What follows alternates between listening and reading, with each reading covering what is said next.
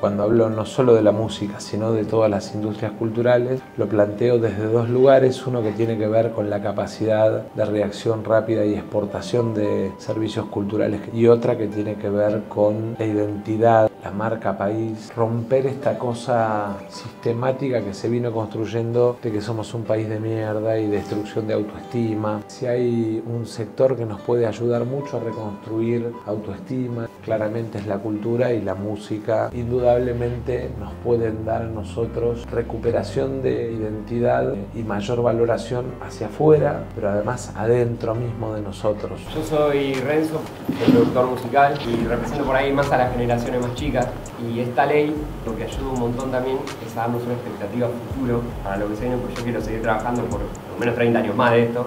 30 nada más, sos jovencito.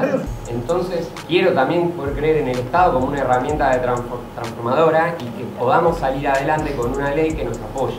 Básicamente es ley de la música, decreto primero y tratamiento en el Congreso después. En segundo lugar es liquidación diferenciada de exportaciones de servicios, 25% a través del sistema de contado con liquidación. Y en tercer lugar el tax rebate, evolución de impuestos en la liquidación de la exportación.